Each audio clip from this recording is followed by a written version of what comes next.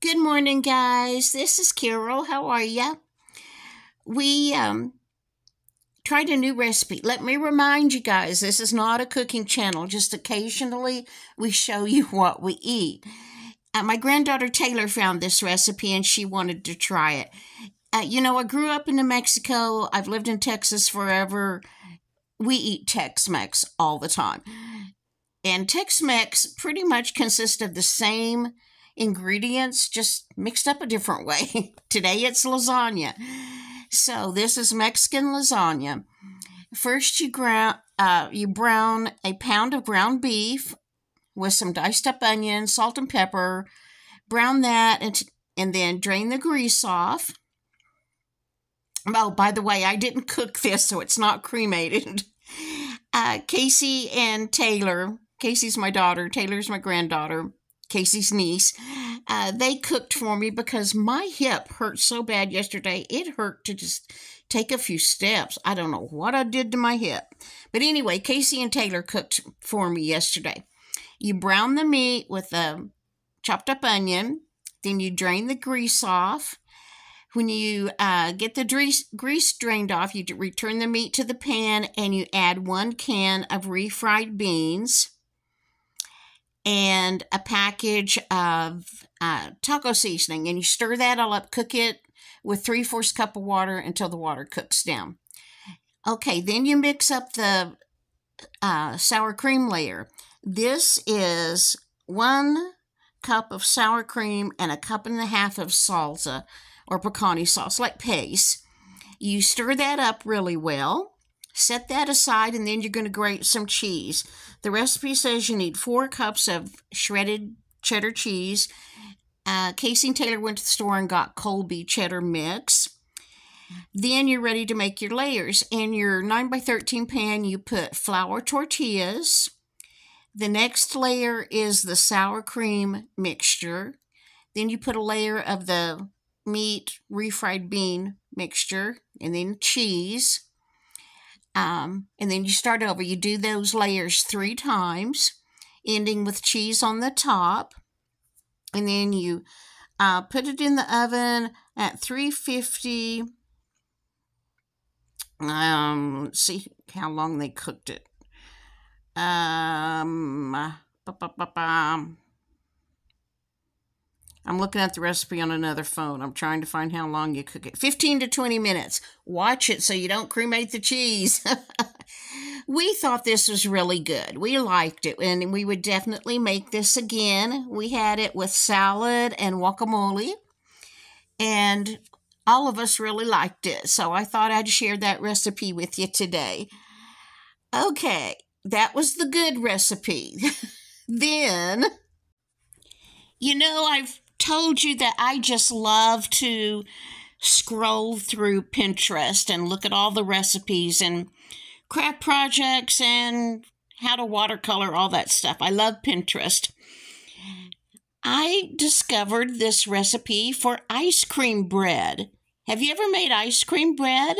I didn't even know it was a thing, but after I saw the first recipe, I searched and there it, it's all over Pinterest. It, the same recipe basically.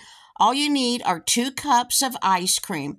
Now it has to be full fat ice cream, real ice cream.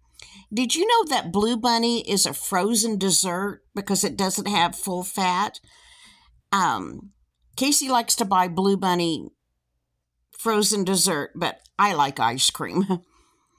anyway, you need two cups of your favorite flavor of ice cream. You let it sit on the counter for about 15 minutes till it it gets more the consistency of soft serve ice cream.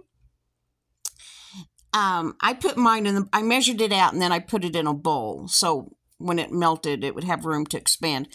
Then you need um, self rising flour.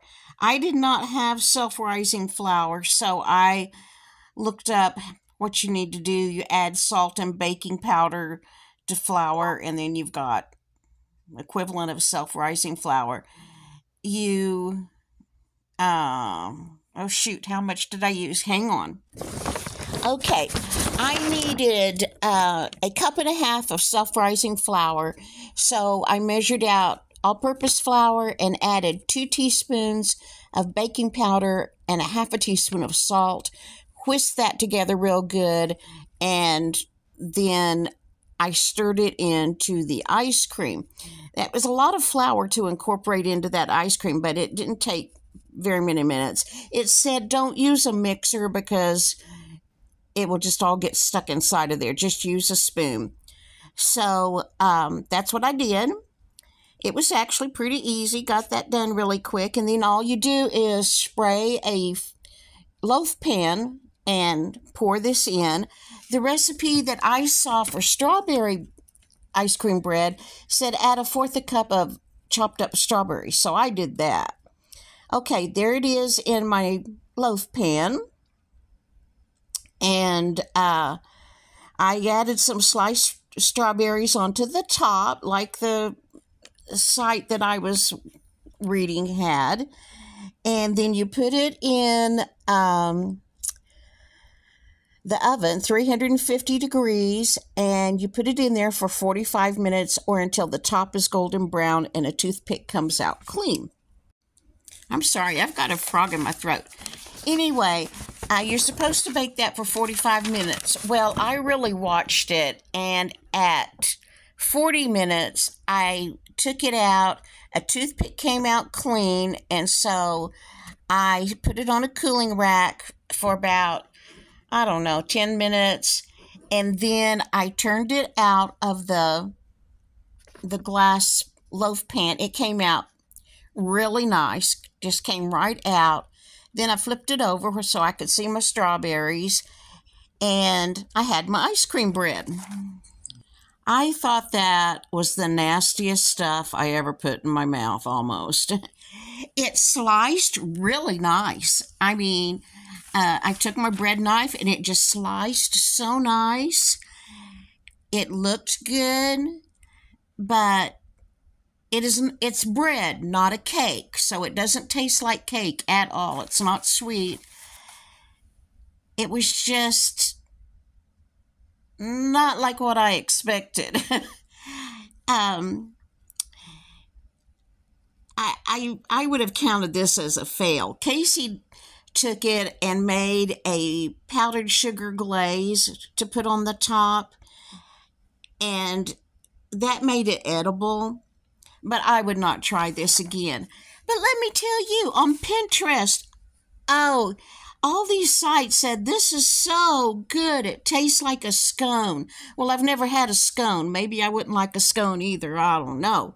But one lady suggested you make this for a bake sale at school because everybody would buy it because they'd want to try ice cream bread. Oh my goodness. No, please don't. If you've ever tried it and you liked it, please let me know. I mean, there were just nice comments all over the place. But then I went to some websites like Taste of Home and other ones and read the comments there. A lot of people said, Oh, this was so bland. It was horrible. We threw it away. If you've made ice cream bread and you liked it, let me know. Maybe I'm missing something. But anyway, we gave it a try and don't think I'll be trying that ever again. In fact, I know I won't. But I want to hear if you've ever made it and it turned out to be something you really liked. Okay, guys, I'm going to go for, de- for today. I'll talk to you in the next video.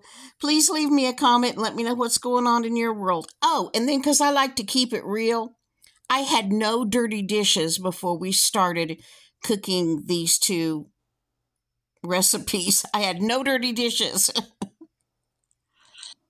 but after we ate, I sure had a sink full of dirty dishes. Okay, just keeping it real, people. I'll see you in the next video. Bye bye.